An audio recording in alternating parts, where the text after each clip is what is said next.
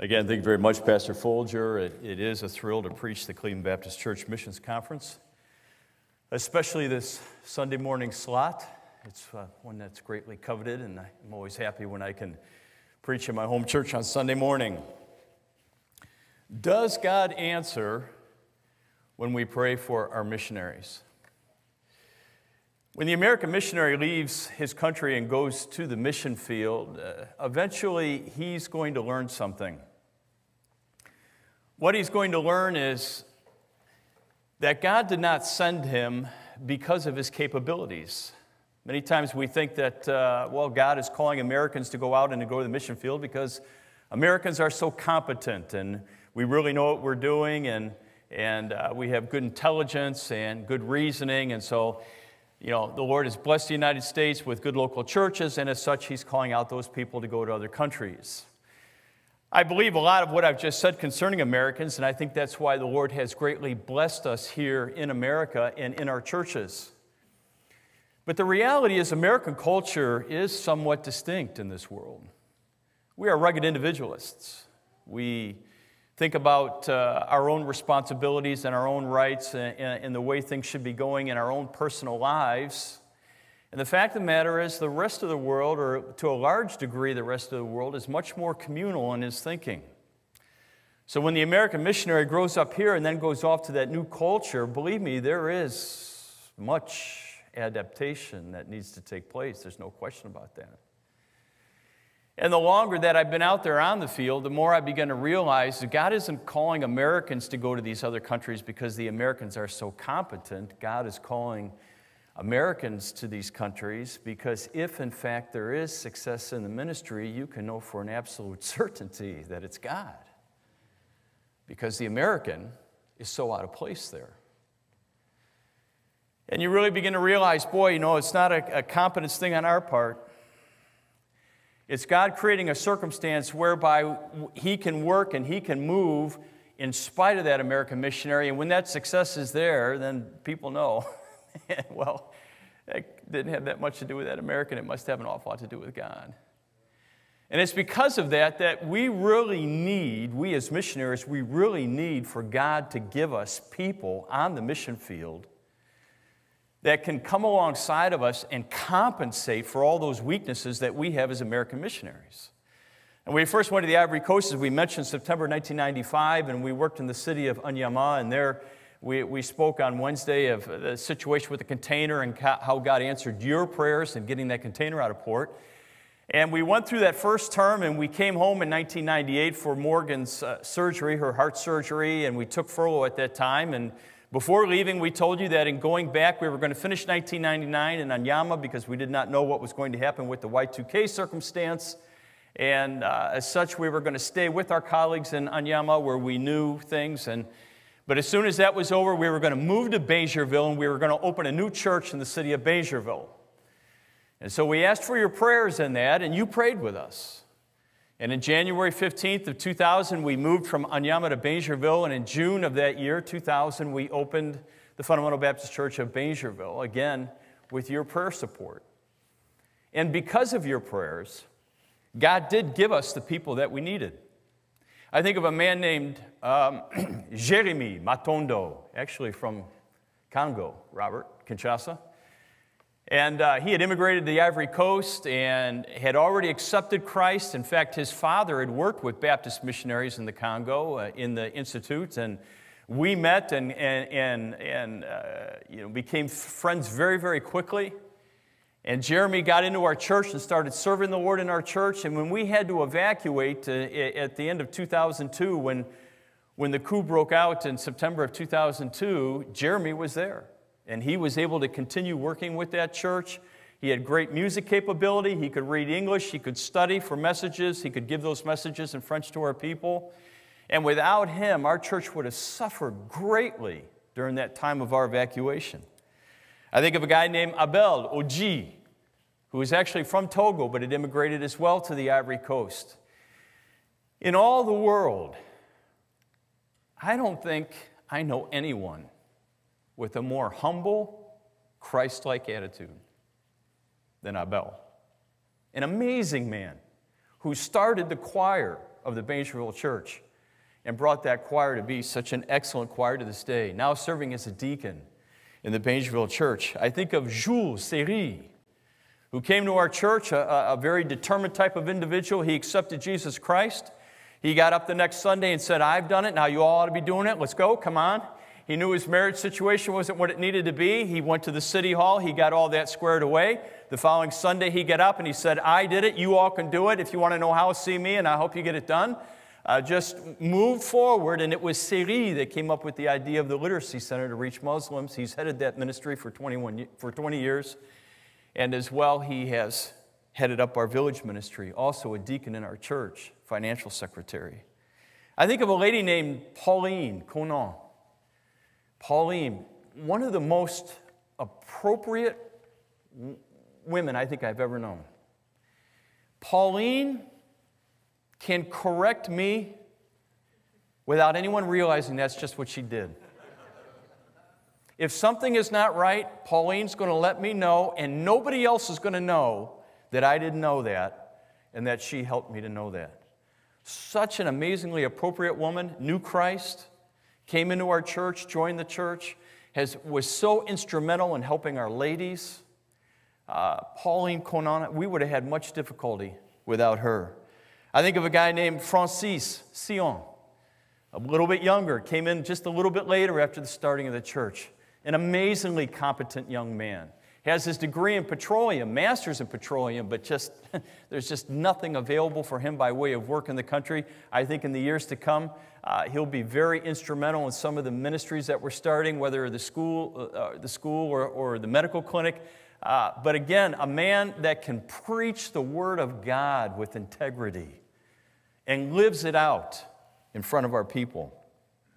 I think of a guy named Guy Maurice, Guy Maurice Pai. His family fled Bangolo in 2002 because of the war. They had to walk 25 miles through the bush to get to Duékoué so they could get on a bus and get to Bingerville. And he arrives in Bingerville as a 12 year old boy. Came to our church because he heard we gave out candy, accepted the Lord Jesus Christ, and grew in grace. When Guy Maurice was in college, I didn't know this, but I, but when he was in college, I learned that when he was in high school and had to take the bus from Bingerville all the way to the other side of Abidjan to go to school every day, he would get on that bus in the morning. He'd get himself situated. He'd be the first one there. He'd get himself situated on that bus. And then they would proceed to pack about 100 students onto that 66 capacity bus. And it would leave Bingerville to head to school, about a 45 minute ride. And Guy would pull out his Bible and he would read a Bible passage out loud and then explain that passage out loud. And those students had no other option but to sit there and listen to him do it. And he would do it all the way to school in the morning, and he would do it all the way home in the evening. Guy is, we believe, going to become the pastor of the Bingerville Church. He's in the midst of his institute training, straight A average, excellent student, fervent for the Lord Jesus Christ. But you see, God gave us those people because of your prayers. You asked that God would be with us and that He would help us and that our works would flourish. And God said, okay, that's exactly what we'll do. But He knows what our weaknesses are, He knows what my family's weaknesses are. So He answers your prayers in bringing in the people that we're going to need in order, so those, uh, in order for those ministries to succeed. So, does God answer when you pray for your missionaries? Absolutely. There's no question about it. This morning, let's go to the book of Luke, Luke chapter 19. And in this conference, we have been considering things that are complete. We saw complete warfare on Wednesday evening, and we recognize that spiritual warfare is something that takes place in our minds. And so we warned ourselves, as it were, to make sure that we don't have any preconceived ways of thinking going into this missions conference that are, in fact, contrary to the scriptures, that we would think correctly about our going and our praying and our giving. On Thursday evening, we came and we saw Christ's complete love, the love of Christ for us, as seen in the solution that Christ provides for our sin problem, and then the love of Christ through us how we develop spiritually, and in that spiritual development, we get out as ambassadors for Christ, and the same love that brought us to salvation, we channel to others so that they as well can be saved. Friday, we took a look specifically at the aspect of giving, complete giving. If we're going to give effectively for the Lord Jesus Christ, then we have to recognize the principles that are there. We give of our whole self first. We give considering the need. We give remembering the sowing and reaping principle. We give recognizing that we should do it voluntarily with joy. Because why? Because it's all God's money anyway, and we're nothing more than managers of it. As we come to this morning's message, let's consider the idea of a complete proclamation. Now, we're in Luke chapter 19, and we're going to look at a very familiar story starting in verse 28. Luke chapter 19, verse 28, the scriptures say, And when he, that is Jesus Christ, had thus spoken, he went before, ascending up to Jerusalem. And it came to pass, when he was come nigh to Bethphage and Bethany, at the mount called the Mount of Olives, he sent two of his disciples, saying, Go ye into the village over against you, in the which at your entering ye shall find a colt tied, whereon yet never man sat. Loose him, and bring him hither. And if any man ask you, Why do ye loose him? Thus shall ye say unto him, Because the Lord hath need of him. And they that were sent went their way and found even as he had said unto them. And as they were loosing the colt, the owners thereof said unto him, Why loose ye the colt? And they said, The Lord hath need of him. And they brought him to Jesus, and they cast their garments upon the colt, and they set Jesus thereon. And as he went, they spread their clothes in the way. And when he was come nigh, even now at the descent of the Mount of Olives, the whole multitude of disciples began to rejoice and praise God with a loud voice for all the mighty works that they had seen, saying, Blessed be the King that cometh in the name of the Lord. Peace in heaven and glory in the highest. And some of the Pharisees from among the multitude said unto him, Master, rebuke thy disciples. And he answered and said unto them, I tell you that if these should hold their peace, the stones would immediately cry out. And when he was come near, he beheld the city and wept over it, saying, If thou hadst known, even now, at the least, at least in this thy day, the things which belong unto thy peace, but now they are hid from thine eyes. For the day shall come upon thee that thine enemies shall cast a trench about thee, and compass thee round, and keep thee in on every side, and shall lay thee even with the ground, and thy children within thee. And they shall not leave in thee one stone upon another, because thou knewest not the time of thy visitation.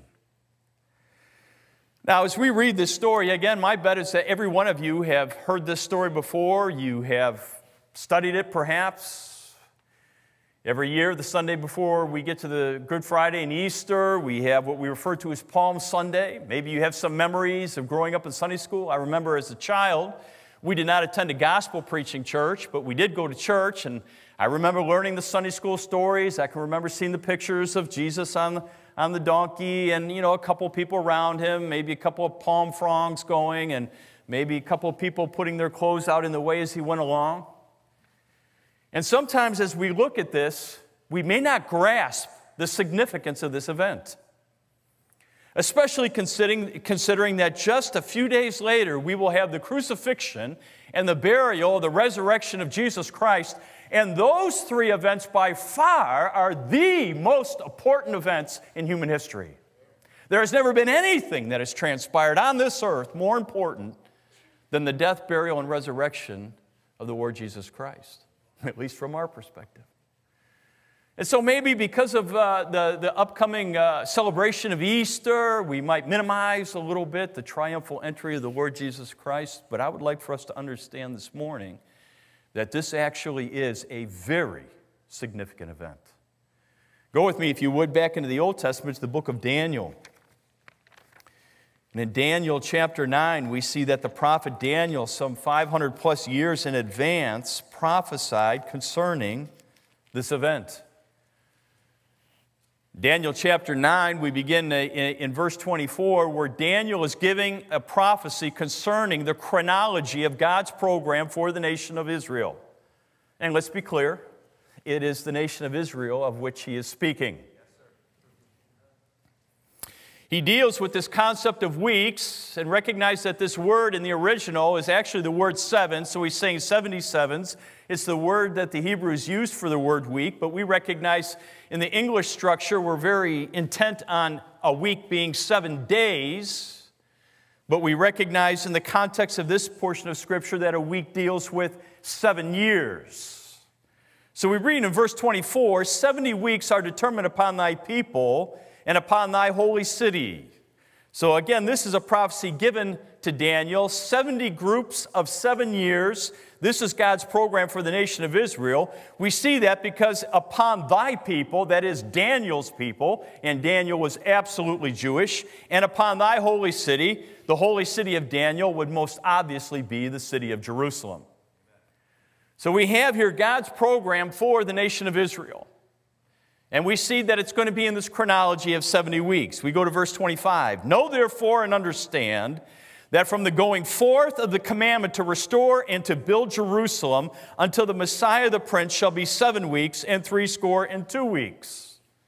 So here we have the beginning. The beginning is what? It is the commandment to restore and to build Jerusalem. Well, who is that?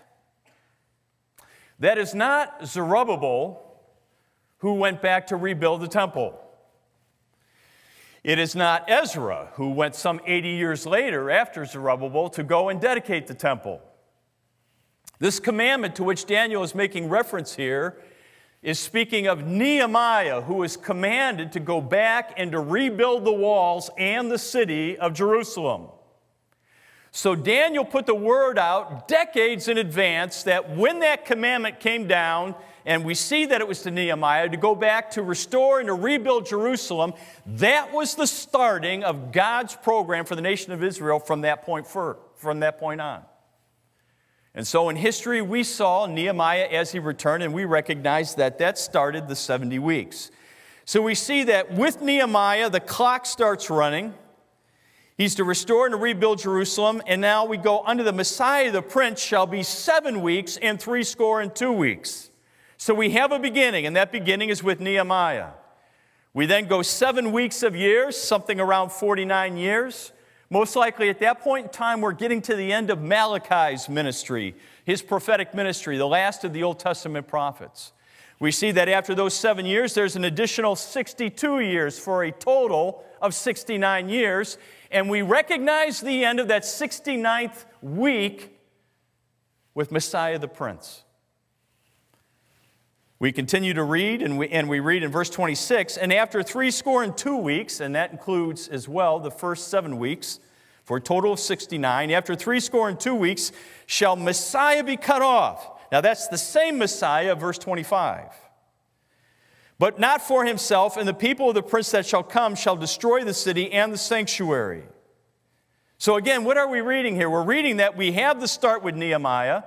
We go seven weeks through the end of Malachi's ministry, an additional 69 weeks to the Messiah the Prince.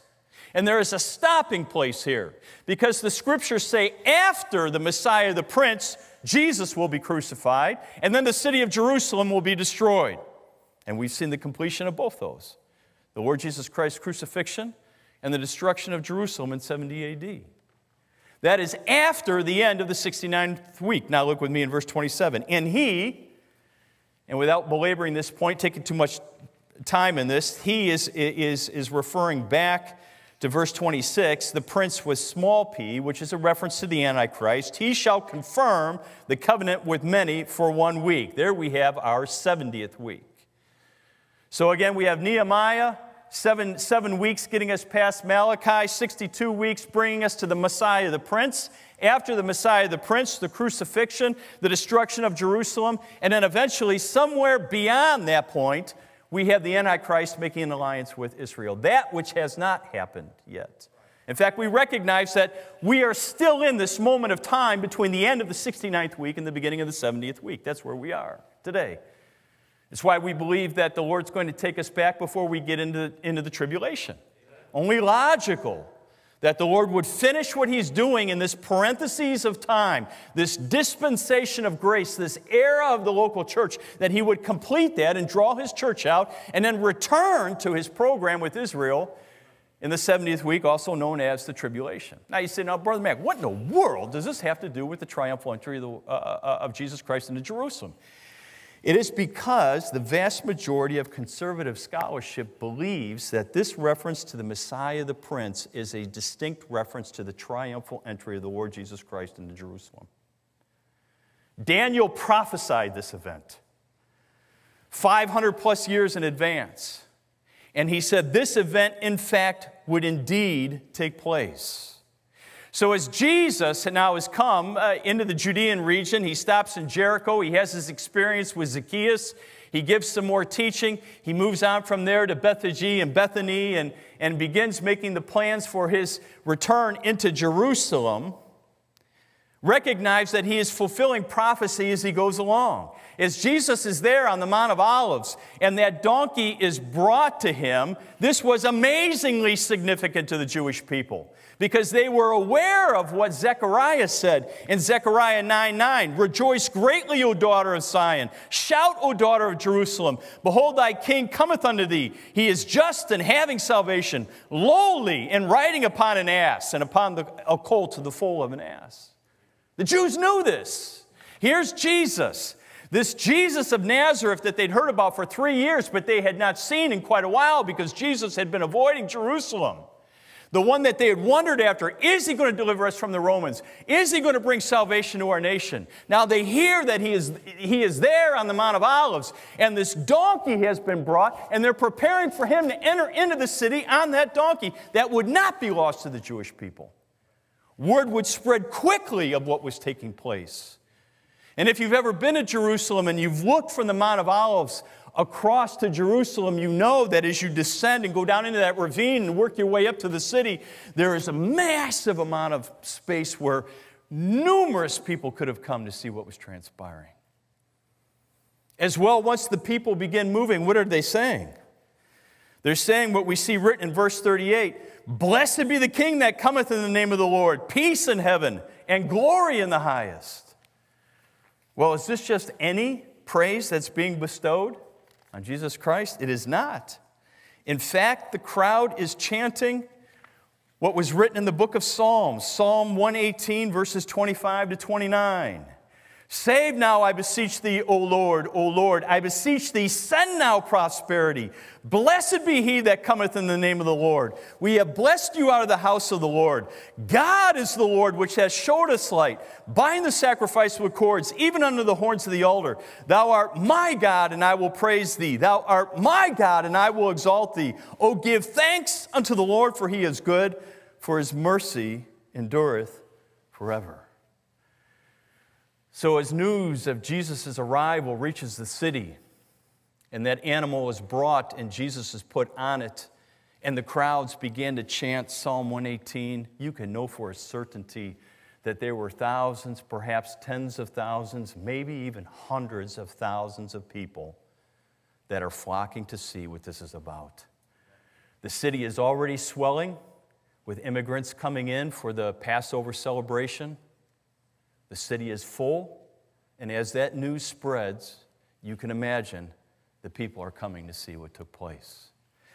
And what is absolutely certain is that the name of the Lord Jesus Christ was very successfully proclaimed on that day.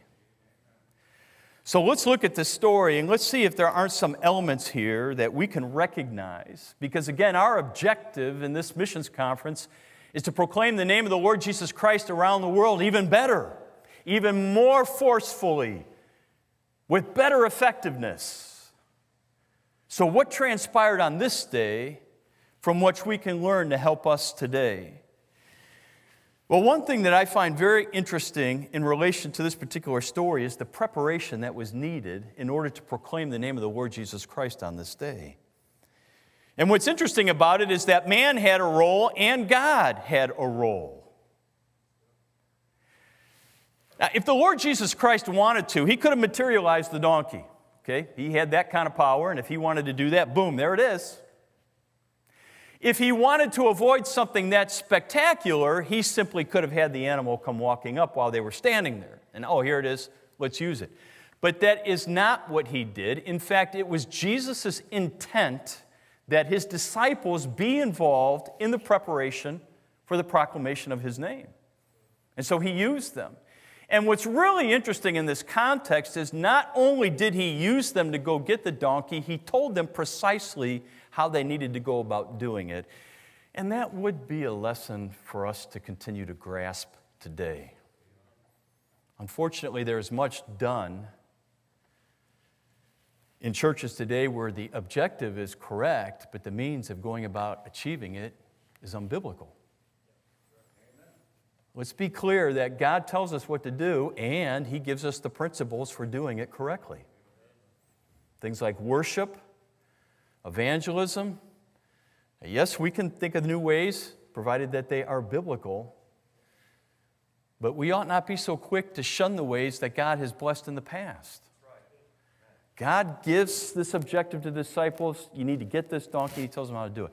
It's amazing. I don't know about you, but if I'd been one of those disciples, and here I am walking to Jerusalem with the other guys to get this donkey for Jesus, you know, I, I would have been inclined to say something like, guys, I mean, I heard what Jesus said, you heard it too, but you know nobody's just going to give up their donkey, okay? That doesn't happen. Those things are expensive. I think we ought to go over to Avis or Hertz over here and rent us a donkey and take that back to Jesus because there's just no way somebody's going to give up their donkey like that. No, Christ told them how to do it, and the success in this event was partially due to the fact that the disciples were obedient and how to go about taking care of that preparation for the event. And God was faithful in his role. What did the men say? They told him they could take the donkey. If tomorrow morning you stick your head out the door and somebody's getting into your car and you say, Hey, what are you doing? And they're saying, Hey, God needs your car today, how many of you are going to throw him the keys? God prepared their hearts. Now, if you look at liberal scholarship, they're going to tell you, well, it's because Jesus went by earlier and made the arrangement with them. Well, the scriptures don't seem to indicate that.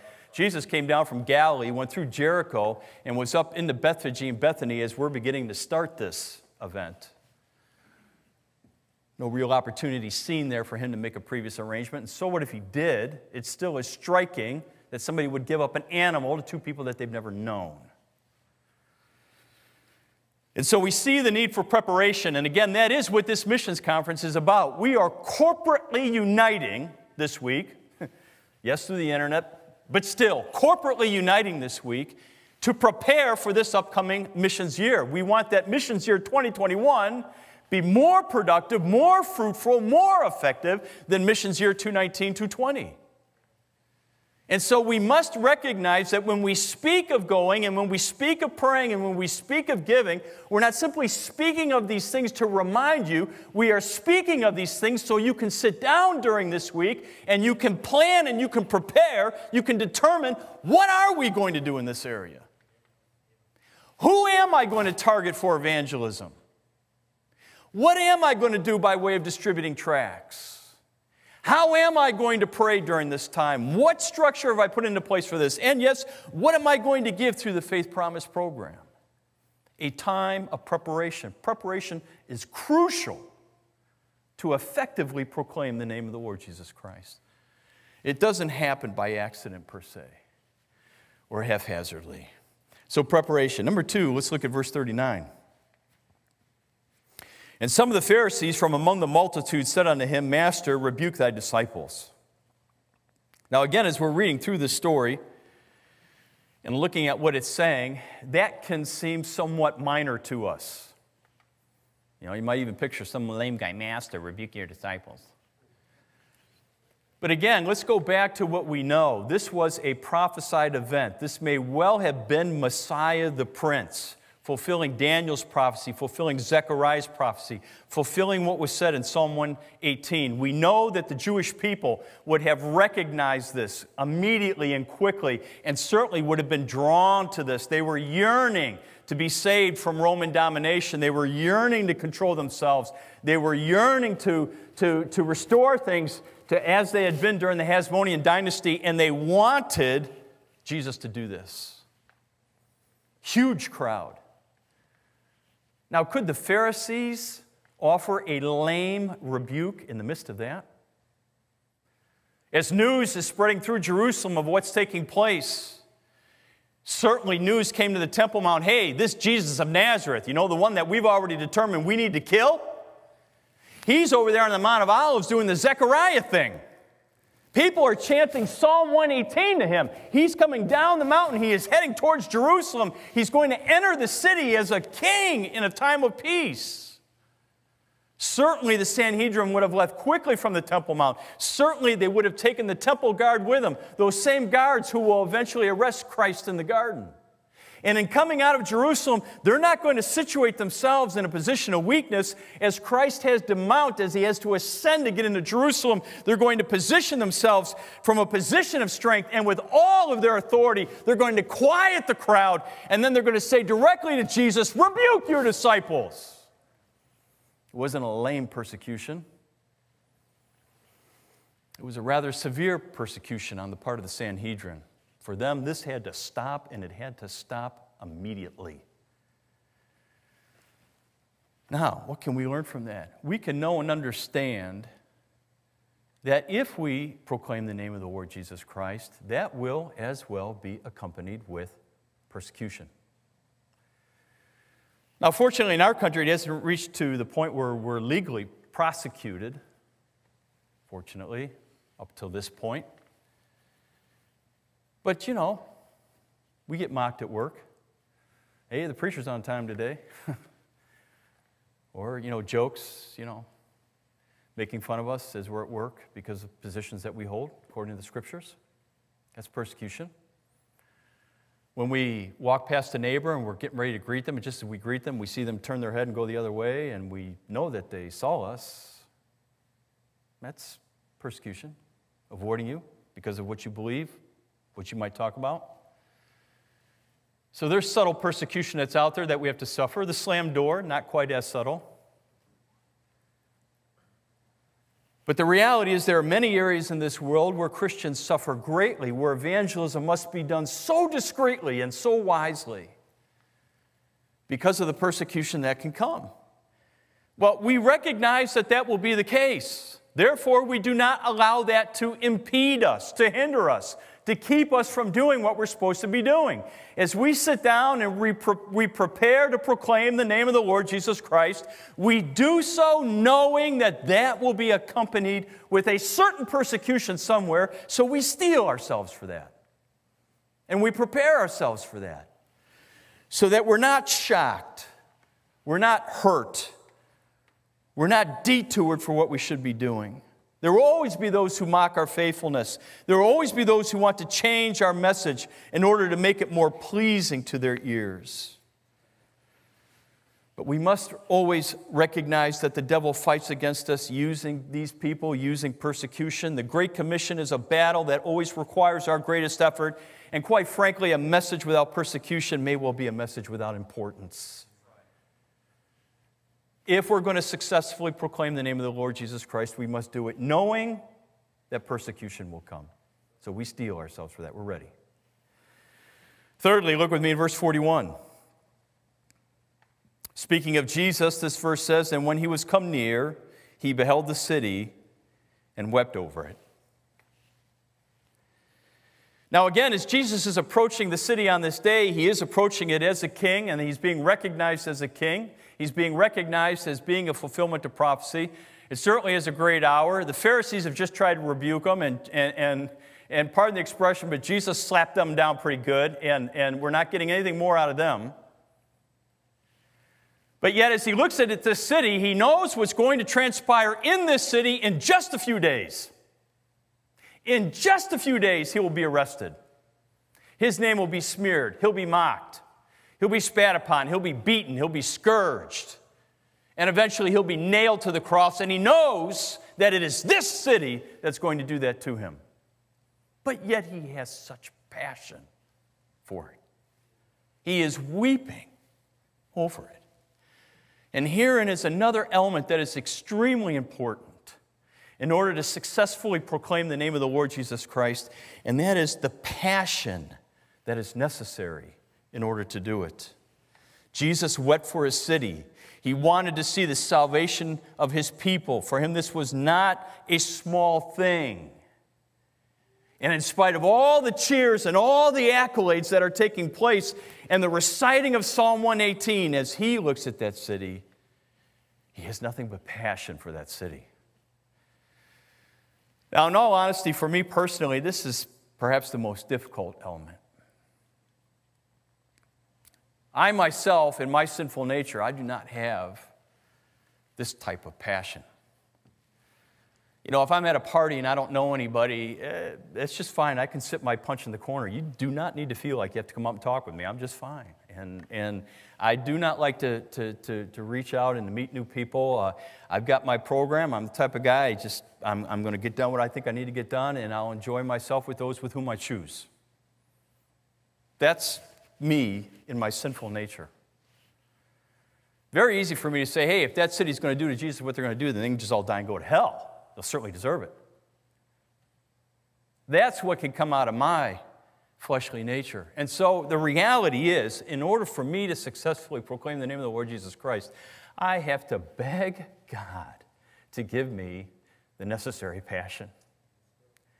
Because as we're dealing with our sinful nature and as we're going through the difficulties of life, it is so easy to zoom out on the people. It is so easy to think only of what is right here in front of me rather than lifting up my eyes and looking across. I remember recently before coming home, I, we were in our institute building and we were looking out. We were up on the third floor. We were looking out over Bingerville. And as I saw all the homes down there, I'm standing there thinking, man, look at the poverty. Guy, our, our, future pastor, was standing right there next to me. I hadn't said a word. I'm just thinking, look at the poverty. And all of a sudden, Guy says, man, look at all the souls out there. He had a passion. He wants to reach them.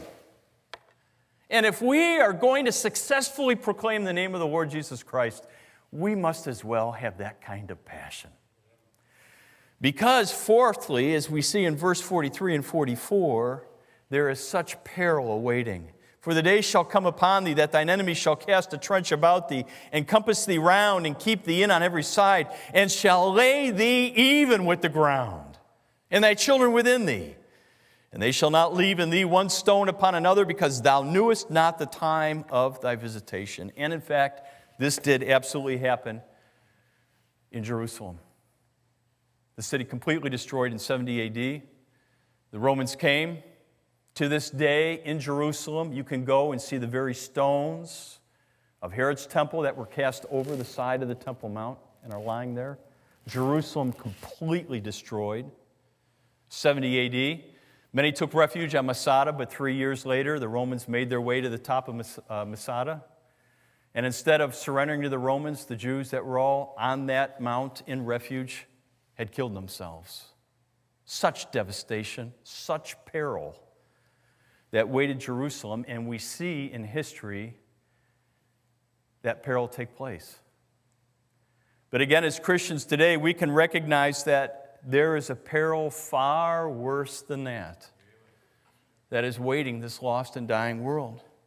And if we don't recognize that peril that they are in, we cannot expect to have the passion that we need to reach out and to proclaim the name of the Lord Jesus Christ. Again, in order to successfully proclaim the name of the Lord Jesus Christ, we must prepare. We must steel ourselves for the persecution that's coming. We must beg God to give us the passion that we need because we see the peril that is awaiting those who are lost and who die in that lost condition. But in conclusion this morning, Let's consider as well the potential problem. Go with me to, to verse 40. In verse 40, Jesus answers the disciples, or excuse me, hmm, answers the, the Pharisees, and he says, I tell you that if these should hold their peace, the stones would immediately cry out. Now, again, if you want to, you can peruse through some liberal scholarship and you might see something like, well, when Jesus is speaking here, he's using hyperbole. He is using an exaggerated expression. Certainly, nobody was anticipating that the stones would ever cry out. Well, I beg to differ. Don't forget, this was prophesied hundreds of years in advance that Jesus Christ would come into Jerusalem on a donkey with Psalm 118 being proclaimed by the people. Psalm 118 was absolutely going to be proclaimed on that day. Absolutely essential to have, the fulfill, uh, to have fulfilled prophecy. There was no way that Christ could go into Jerusalem on that day without having those praises and, and, and, Psalm 118 expressed as a part of his going in. Impossible. So if the people that were there on that day had shut their mouths and they had determined, we're going to listen to the Pharisees, we're not going to give these praises anymore, those praises would have absolutely come from somewhere. And God had already used a donkey once. So, is it so ridiculous to assume that our almighty, all powerful Creator God of heaven would have brought those praises out of something as inanimate as the rocks, as the stones? It's entirely possible, given that He created them. He can make them do that which He wishes. But you see, here's the problem for us. Again, this particular day was a very specific day. These prophecies had to be fulfilled, very specific.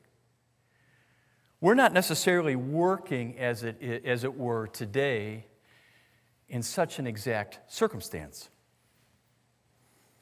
In other words, if we do not proclaim the name of the Lord Jesus Christ in a specific situation, we don't have the stones to back us up. If we don't proclaim the name of the Lord Jesus Christ in a specific circumstance, his name remains unproclaimed in that circumstance. And nothing's going to change that. So, what's the potential problem? The potential problem is do we want to find ourselves before God and hear Him say, you know, I think I might have been better served to use the stones than to use you?